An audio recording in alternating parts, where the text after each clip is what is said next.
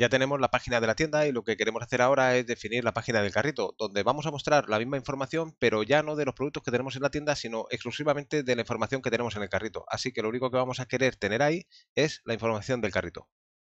Para ello, lo primero que vamos a hacer es abrir el Car Controller, que es donde nos vamos a ubicar cuando estemos en la página de carrito. Así que vamos a ir definiendo aquí los métodos que necesitamos.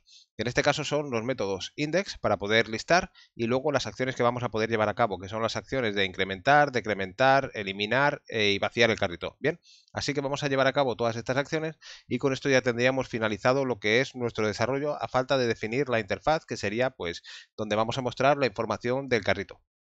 Lo primero que hacemos exactamente igual que hemos hecho en la tienda es utilizar el Trade Car Actions y añadir aquí Show Repository Interface y también el servicio Card. Bien, con esto ya tendríamos todo lo que necesitamos, que es el acceso tanto a nuestro carrito como al repositorio de la tienda. Vamos a cambiar Shop Repository, que lo había dejado así en principio, por Repository, para que no sea algo tan concreto, porque solamente tenemos un repositorio. Bien, así que con esto ya podríamos utilizar a través de Car Actions todas las acciones y tendríamos tanto las acciones con el carrito como las sesiones Flash.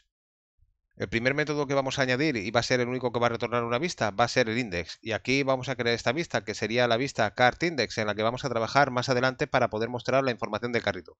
De momento lo vamos a dejar así porque lo que nos interesa es, antes de llevar a cabo todas las acciones, vamos a definir todos los métodos que tenemos que tener en nuestro controlador. Bien, si venimos en este caso eh, a nuestro router, vamos a venir a configuración de rutas, aquí al archivo web, veremos que en el car tenemos el increment, el decrement, el remove y el clear. Bien, al igual que hacíamos parecido en lo que es la tienda. Así que vamos a tener que definir todos estos métodos para poder eh, interactuar desde la vista index del carrito con nuestro controlador todo lo que vamos a hacer se parece mucho a lo que hemos hecho en la tienda. Lo único que va a cambiar en este caso puede ser el redirect. Así que aquí a lo mejor también podríamos añadir un argumento adicional en increment product quantity si queremos hacer un redirect y pasándole la ruta de redirect podríamos automatizar todo este proceso para que automáticamente las acciones eh, llevaran a cabo la redirección.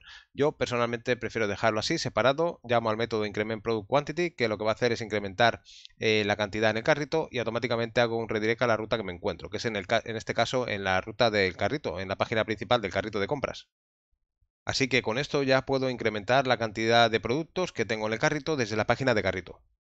A continuación voy a hacer lo mismo para decrementar. Simplemente llamo al método decrement product quantity y hago redirect a la página de carrito. Para poder eliminar un producto, simplemente llamo al método remove product y le hago una redirección a cart index. Con esto ya el producto sería eliminado de forma completa de carrito. Y para vaciar el carrito, simplemente el método clear, llamo al método clear y hago un redirect a la ruta cart index. Con esto ya tendría lo que es la lógica de mi carrito de compras. Y lo único que me faltaría por definir es la vista index. Fíjate que aquí podemos hacer todo lo que podríamos hacer en la tienda, excepto añadir un producto al carrito, porque no estamos en la tienda. Estamos interactuando con lo que ya tenemos en el carrito y esa funcionalidad no tiene que estar en el carrito, sino que tiene que estar en la tienda.